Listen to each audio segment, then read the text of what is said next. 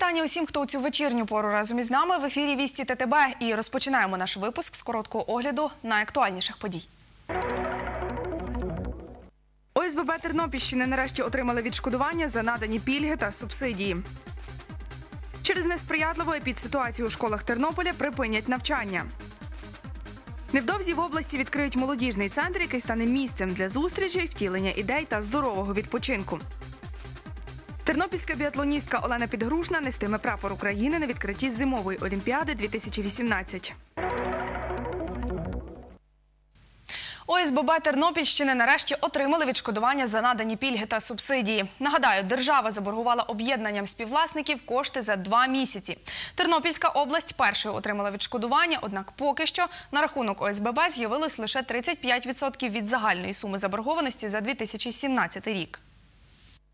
Майже 3 мільйони гривень таку суму держава заборгувала Тернопільським ОСББ за надані пільги та субсидії у листопаді та грудні минулого року. Нещодавно Кабмін виділив кошти на погашення заборгованості. Однак скористати з ними співвласники багатоквартирних будинків не могли. Держава перерахувала гроші на казначейські рахунки організацій, які надають житлово-комунальні послуги. На відміну від ЖЕКів, ОСББ не є надавачами послуг, тому голови об'єднань відмовились відкривати казначейські рахунки та наполягали, аби кошти відправили власне на рахунки ОСББ.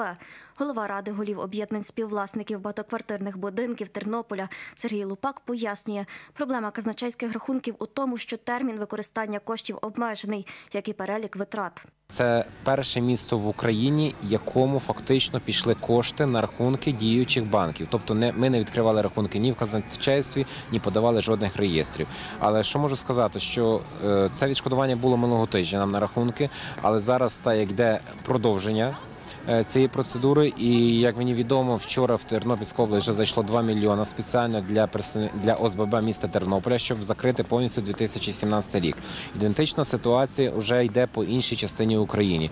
За відшкодування коштів на поточні рахунки ОСББ тернопільські голови об'єднань боролись кілька місяців. Зокрема, взяли участь у всеукраїнському флешмобі та написали лист до прем'єр-міністра. Зрештою, своєї мети досягнули. Вже завтра членам ОСББ обіцяють повернути усю суму 2 мільйони 75 тисяч гривень.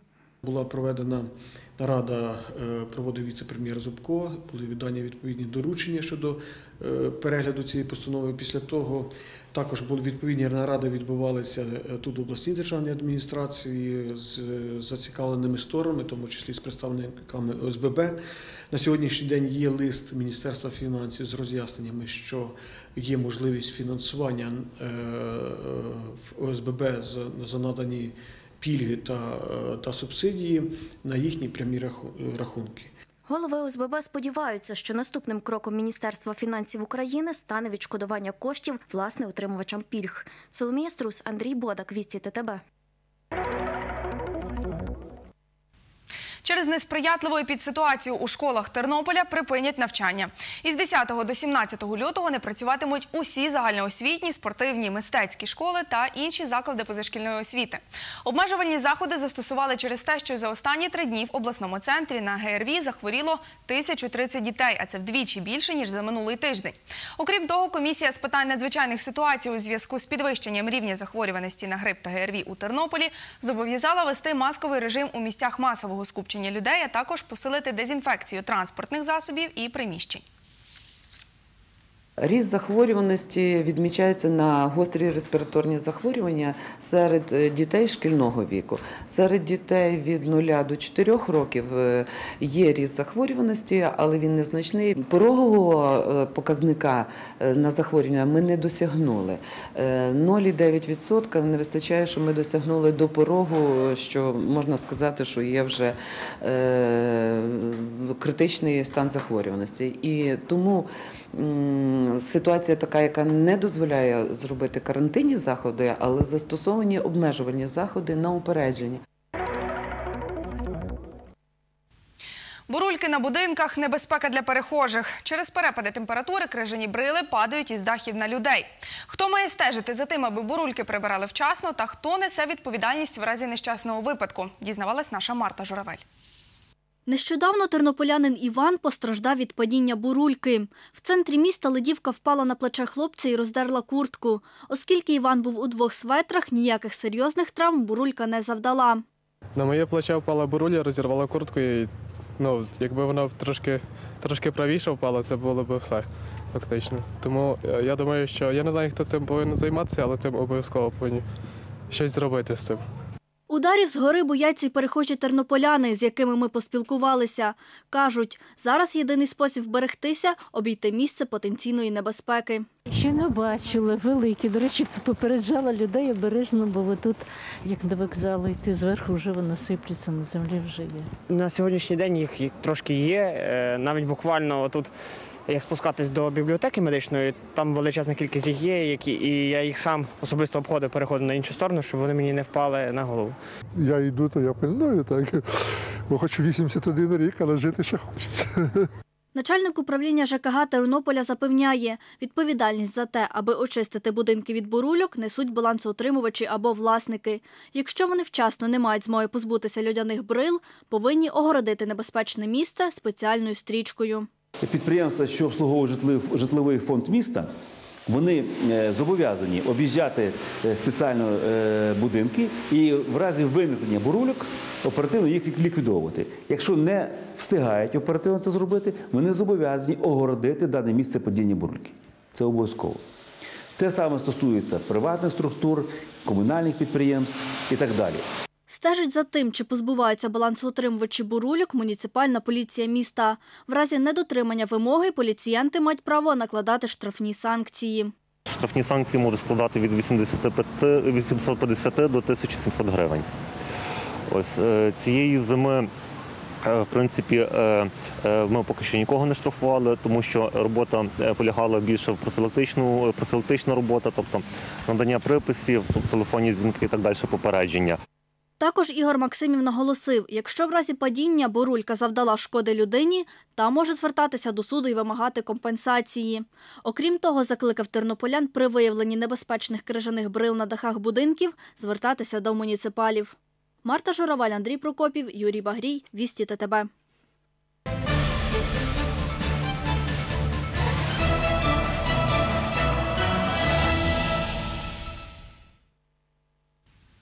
Смертельна ДТП трапилась у Тернополі на вулиці Миколинецькій. Зіткнулися автомобілі ЗІЛ та Фольксваген. Водій легківки загинув на місці. Дев'ятирічну дівчинку, яка була в салоні Фольксвагена, забрала швидка. За попередньою інформацією, водій легкового автомобіля порушив правила дорожнього руху. Обставини аварії наразі встановлює слідча оперативна група. Біля третьої години дня сталася дорожньо-транспортна пригода за участю двох автомобілів. Е, Вантажний автомобіль ЗІЛ і легковий автомобіль Volkswagen Passat B4.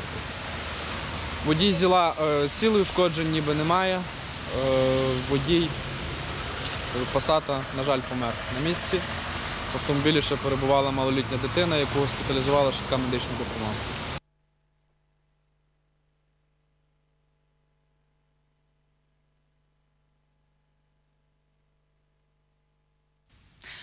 Тернополі злодій опинився в пасті у квартирі, яку хотів обікрасти. Правоохоронці отримали повідомлення, що хтось проник до помешкання на вулиці Золотогірській. У поліцію зателефонувала сусідка. На місце виклику виїхала слідчо-оперативна група, бійці корду та патрульної поліції.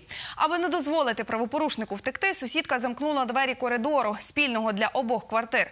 Поліціянтам довелося їх виламувати. В квартирі вони побачили розкидані речі, однак сторонніх осіб не виявили. Невідомого знайшли на добудованому горищі, де чоловік сховався між старими речами. Згодом з'ясували, що затриманий 29-річний мешканець Івано-Франківської області неодноразово судимий за майнові злочини. Минулого року його звільнили з місця позбавлення волі. Наразі вирішується питання про міру запобіжного заходу та оголошення підозри. Триває слідство. Вертаючись з мікрорайону Пронятин, нам поступила вказівка від чергової поліції охорони, що по вулиці Золотогірській в багатоповерховому будинку в квартирі перебуває невідома особа, що можливо це буде злочинець. Під'їжджаючи до даної адреси, було звернено увагу, що на четвертому поверсі відкрите вікно. Коли ми піднялися до даної квартири, було видно, що вхідні двері були закриті. Спільними зусиллями наряду дану квартиру було заблоковано і доповіли чергову частину для виклику нарядів суміжних для забезпечення охорони місця події.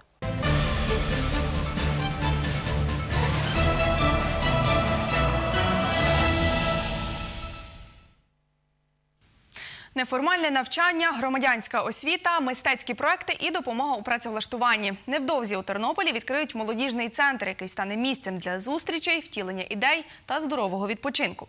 Зараз у приміщенні проводять капітальний ремонт, організатори закупляють техніку, а паралельно проводять перші мистецькі зустрічі і реалізовують соціальні проекти. У 2016 році проект Молодіжний центр став переможцем громадського бюджету. За нього проголосували понад 800 тернополян. На реалізацію ідеї з міського бюджету виділили 1 мільйон гривень. Один з ініціаторів Святослав Абрам'юк каже, за кордоном давно існують такі подієві майданчики. Їх ще називають інкубаторами. Завдяки таким платформам вважає чоловік, вдасться вивести громадські організації міста на новий рівень і зробити життя тернополян більш насиченим на культурні та соціальні події. 199 тисяч пішли на ремонт е, в рамках фінансування міської ради, е, 800 тисяч е, пішли на закупівлю техніки, це більше, е, по-моєму, більше 700 тисяч на закупівлю техніки і 100 тисяч це на послуги. Тут будуть е,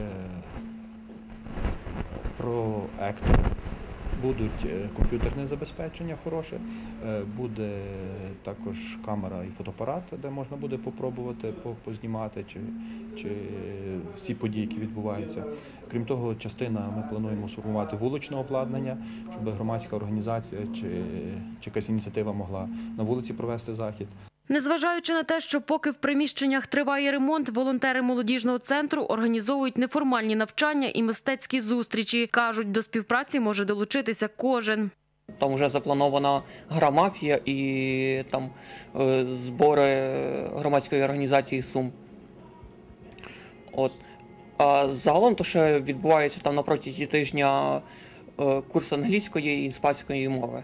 Може приходити будь-хто, хто бажає або свою ідею втілити, або спільно з нами, або долучитися вже до тої, яка існує в нас, чи до тої, яка є вже в інших громадських організаціях. Відкриті для всіх. Наразі молодіжний центр об'єднав понад 15 громадських організацій Тернополя. Його планують відкрити навесні цього року. Богдана Сарабун, Оксана Галіяш, Вісті ТТБ. У холі Тернопільської школи номер 17 учні на перерві провели благодійний ярмарок, на якому продавали солодощі. Таким чином діти вирішили допомогти бійцям на сході України. Гроші, які заробили на випічці, а також автомобілі та іншу допомогу, днями відправлять в зону АТО. Однокласниці Катя і Оля готувалися до ярмарку два дні. Кажуть, спершу шукали рецепти, потім разом з батьками випікали смаколики. Ціни на солодощі встановлювали помірні для того, щоб всі охочі змогли поласувати смачненьким. Печенька, тортики всякі. Це десерт, який має е, в, в ньому зараз є е, слой вишень і дуже м'яке шоколадне тісто. А яка вартість? 5 гривень. А чому ви вирішили долучитися до акції і чи вже не вперше долучаєтеся? Вже не вперше. Вже не вперше. Ми вже багато разів торгували. Чому вирішили так? Ну не знаємо, хочемо допомогти. Попит на солодощі був чималий. Учні, які купували ласощі, кажуть, дешево і смачно. Жила купив, а як це морозиво. Хочу підтримати воїнів АТО фінансово. Я купила ось такі тістечка, кусочок тортику і надіюсь, що дуже смачне. А скільки обійшлося вам? Дуже дешеві ціни. І смачно і приємно буде тим, що ми можемо чимось допомогти воїнам АТО. За 15-хвилинну перерву учні та вчителі розкупили практично всі солодощі. Такі ярмарки вже традиційні у навчальному закладі. Цього разу вдалося вторгувати 4210 гривень. Ці кошти передали волонтерам, які найближчим часом доправлятимуть найнеобхідніше у зону АТО. Ми вирушаємо на схід до наших хлопців е, трьома бусами, а також ми з собою ще з Тернополя будемо вести УАЗик бортовий туди і там залишаємо. З городка Хмельницької області, де в нас є своя майстерня ремонтна, ми також ще будемо вести вже третій УАЗик туди на схід. На світло в район Світлодарської дуги ми відремонтували ще два мотори, які теж завеземо туди. Ну і багато продуктів харчування, маскувальні сітки, два генератори, багато інших таких речей. Також під час ярмарку учні записували відеозвернення до бійців з різноманітними побажаннями. Старший сержант Нацгвардії Сергій Довгань, який захищав піски, каже: коли приїжджають волонтери на схід, то хлопці розуміють, що несуть службу не дарма. Якщо приїжджають наші волонтери, хлопці, це наскільки піднімається сила духу е, морально. Приємно знати, що про нас пам'ятають, згадують, І тоді ми знаємо, що ми не, не просто так стоїмо, а за наших е, дружин, сестер, батьків. Тарас Бурак, Юрій Багрій, Вісті ТТБ. Тернополянин Андрій Пелех піднявся на одну з найвищих вершин Африки гору Тупкаль. Вона розташована в Марокко, її висота 4165 метрів. Чоловік каже, це вже не перше сходження. Раніше піднімався на вершину Казбеку, що у Грузії, та іранського вулкану Демовент. Цього разу із групою знайомих вирішив підкорити Тупкаль. Сходження у команди зайняло три дні, два з яких пішло на акліматизацію і підйом в штурмовий табір. Втім, зізнається, краєвиди, які відкриваються з вершини гори, того варті. Найближчим часом тернополянин планує піднятися також на Монблан, що на кордоні Франції та Італії.